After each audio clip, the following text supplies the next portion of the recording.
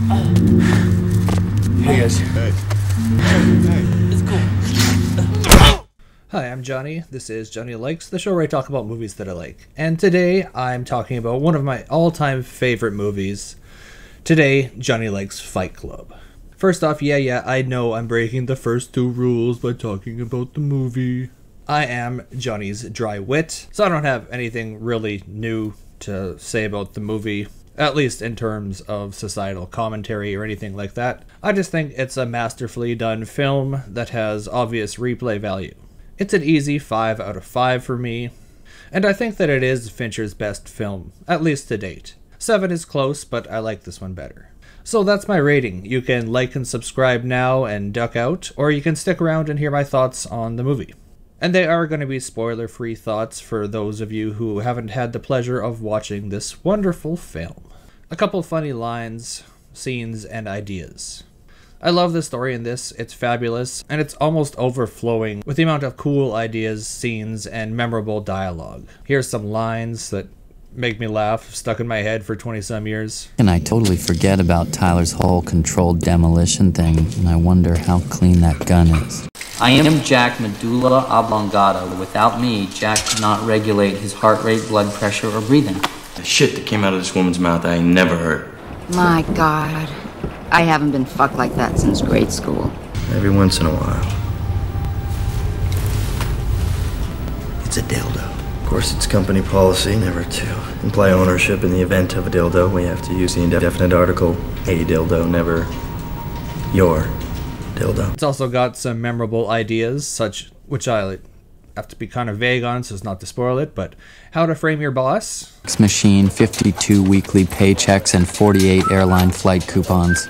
We now had corporate sponsorship. Selling rich people back to themselves. This is the best seller. Why, thank you, Susan.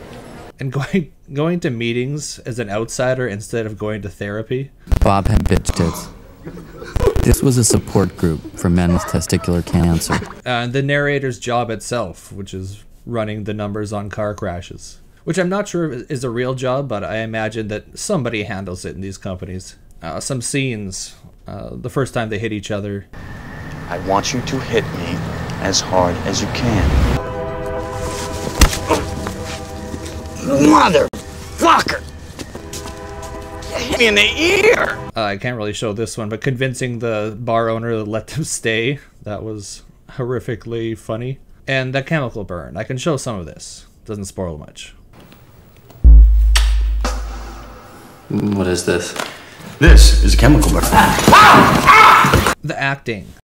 I loved all the performances in this movie. Brad Pitt, Edward Norton, Helena Bonham Carter, Jared Leto, and even Meatloaf. Basically, if you were in it, you were in the cool actor books in my head for at least the next few years. I already liked Pitt, Norton, and Fincher before seeing the movie, but this just further reestablished that I indeed have great taste. I mean, it was so good that it even elevated Meatloaf to cool level in like the jaded teenager's mind, and that's not the easiest thing to do in the world. The look the look of this movie is just something that you didn't see so much in 1999. It looks like it was shot digitally, but unless I'm mistaken, it was shot on film. At the time, this looked brand new and like nothing else really out there. Nowadays, it is a common enough look. The color grading, the lighting, and what have you. Maybe my memory's faulty here, but as far as I'm concerned, David Fincher pretty much invented this look, starting with the game a couple years before.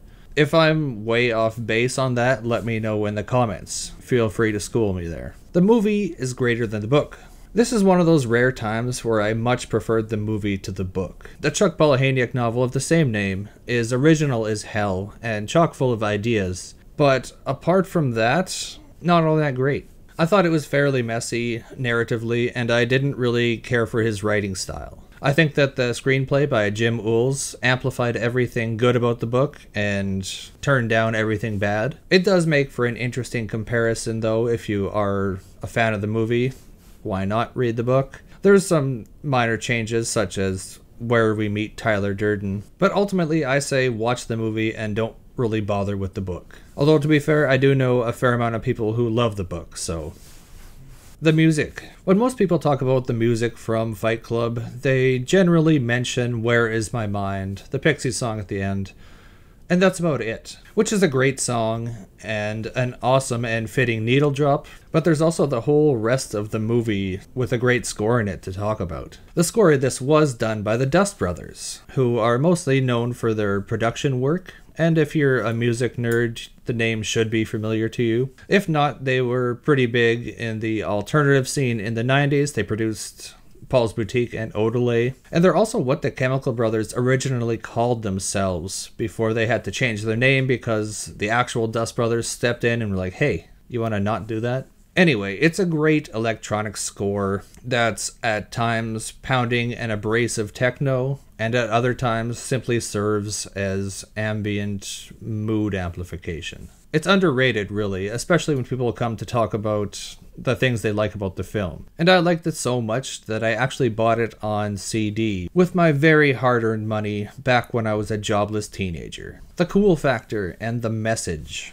If you didn't grow up when this film came out, I don't think I can truly express how cool it really was. It had this attitude about it that was just so fresh and relatable. The dark sense of humor, the anti consumerism, the anti establishment messaging, and just the general grungy outsider chic aesthetic thing that it had going for it was very, very appealing to me and much of what the film had to say still is. It's never made me want to get in a fight though. Fighting is cool, is not my takeaway from the film, although a lot of young men around my age, that was kind of what they took away from it the whole an entire generation of men are so numb and disenfranchised and bored that they need to pummel themselves into oblivion in order to feel anything. Yeah I've, i found this viewpoint of the film's message a little bit simplistic to say the least. I thought the movie was more about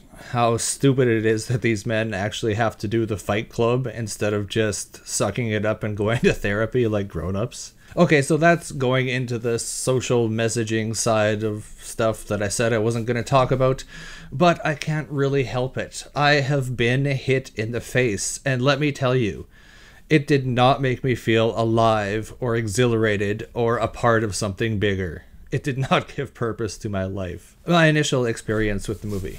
I can't believe that it's almost been 25 years since I first saw this in the first couple of months of my high school years but it apparently has. I remember seeing it opening weekend with my dad. Neither of us had read the book, but we were familiar with the primary players. And we were pretty excited about it because the trailer did a really good job on that end. And both of us loved it immediately. All the movie's humor, violence, and shit disturbing antics just clicked with us. Excuse me. Sprayed me with your clothes. I don't That's not necessary. Neither of us had any clue that the twist was coming. And it wasn't even until I saw it on video that I noticed the single frame splices of Pitt, and I couldn't believe that I missed them. They seemed so obvious viewing it the second time. Turns out I was just one of the mindless sheep in the theater, ignoring all the clues that were being given to me. Physical media.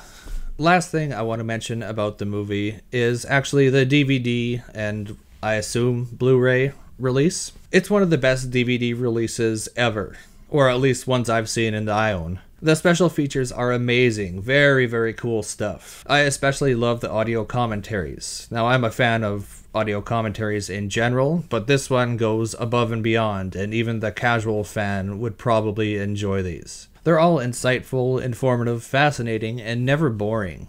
And there's four of them to boot. If there ever was a time to actually pick something up on physical media, I would say this would be it. It's just a nice cherry on top of the movie itself to have the DVD release be worth the extra price. So, what did you guys think of Fight Club? Let me know in the comments, and if you didn't like and subscribe before, you can now. Or really anytime. It is quick, free, and relatively painless, plus it helps me out. Uh, thanks for watching me talk about movies for a little while, and you can tune in next time to see what else Johnny likes.